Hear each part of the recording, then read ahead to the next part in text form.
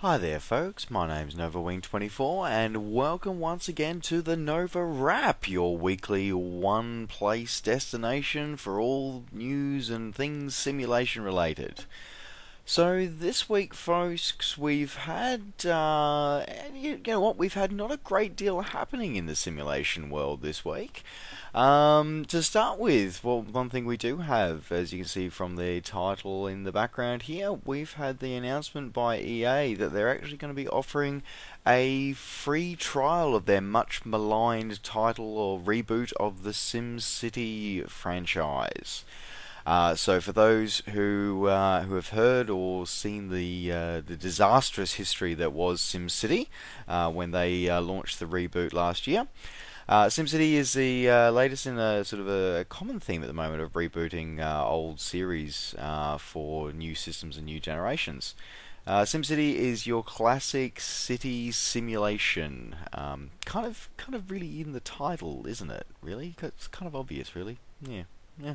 Anyway, um, so the series has been around for quite a while. Uh, started by Sid Meier and the Maxis team many, many, many, many moons ago. Uh, and in fact, actually, so long ago, I actually remember playing the original at school. It was actually released as an education edition, believe it or not. So there you go. It was one of my first exposures to uh, to computer gaming. But mm, anyway, um, so SimCity, uh, when it launched, it was highly anticipated. Everybody was looking forward to it and when it launched, it was a absolute disaster. It was incredibly buggy. Um, the launch was just an absolute disaster. Um, people such as myself who'd been really looking forward to it and who'd been like you know hung out and gone yes okay ticked over midnight. Yes I can start downloading. Uh, couldn't get onto the servers. And it was interesting that anyone who'd pre-ordered it basically couldn't download it, and yet if you logged in after the launch date, you know, a couple of minutes after the launch time, then you could actually go straight in and download it, and all was fine. And yeah, that was a little bit messed up, just just just a little, just a little messed up. Um, so apart from the uh, PR nightmare that was the launch of SimCity, um, then came a lot of the other things uh, in the aftermath. So the city sizes were a lot smaller than people were expecting. Um, the multiplayer aspect and the fact that it required an always online internet connection just to play what essentially amounts to a single player game, really. Um, it was it was very disappointing and was not very well received by the community. And um, EA tried to bluff their way out of it by saying that yes, okay, um, it's it's it's you know it's, server side calculations is why you need to always be on the internet. Um, and you know when they were probed about you know are they going to make an offline edition because you know not everybody wants to be online all the time. Some people just want to you know putter around and make giant cities or small out you know small outback towns and they just want to be left to their own devices. And EA said no no no no no can't can't do that can't do that can't do that. And then, lo and behold, about eight months later, they did a backflip and said, "Yeah, okay, all right, we are going to work on an offline mode." And that was released a couple of months ago. So, yeah, that, yeah, just blatantly lied to us. But eh, hey, mm, unfortunately, it happens. Anyway, um, but in this latest piece of news, uh, it is now available as a demo, as a free trial. Um, the demo is a little restricted. Uh, it does restrict you to only four hours of play.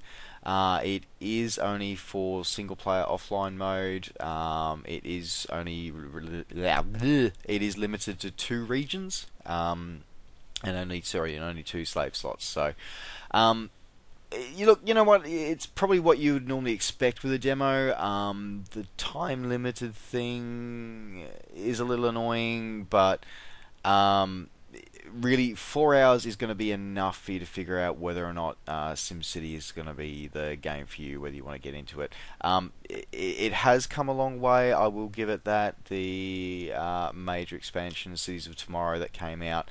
Um, did add quite a few cool things to it, so yeah, I was you know, pretty impressed by that. Overall, I still like SimCity. I am still disappointed that it wasn't what everybody was hyped up to be and what it was going to be. But yeah, I, it's it's still a game I'll trot out and I'll yeah I'll trot out and it's a massive time sink. It really is. So yeah, hmm, this is this is a good way for people to get an experience of it and yeah if they, if they want to see if they want to enjoy it. So hmm, there you go.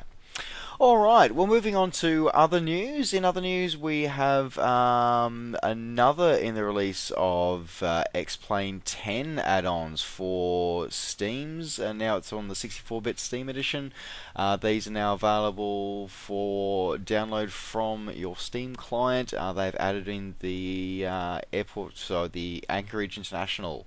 Uh, has been added in. So, uh, to Ted's Anchorage, Ted Stevens International uh, has been added in and is able to be purchased uh, through your Steam client and is fully compatible with the 64-bit edition of X-Plane 10 Global for Steam. So, uh, as part of a uh, launch promo, it is going to be 25% off um, until the 14th of August. So.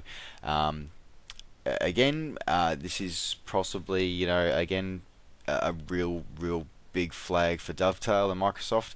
If you guys don't get your proverbial together real fast, then you've lost any chance of getting back some of the flight simulation market because X-Plane's managed to Steam for whether you love it, hate it, loathe it, enjoy it, advocate for it, whatever. Um, Steam is very much the uh, the digital distribution platform at the moment. Um, if you make it big on Steam, you make it big everywhere. And X-Plane 10 have already proven that they're being first to market, that they're doing pretty damn well. Um, so if Dovetail and Microsoft don't catch up real fast, um, this is going to be a problem. So, hmm, yes, word of warning out there for them. All right.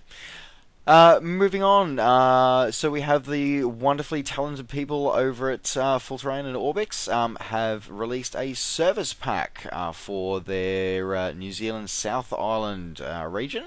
So that's Service Pack three. It's a cumulative patch. It's a pretty hefty one too. It's one point. It's over. I think it's, it's over 1.1 gig. So pretty hefty service pack. This one. Now this service pack does add in.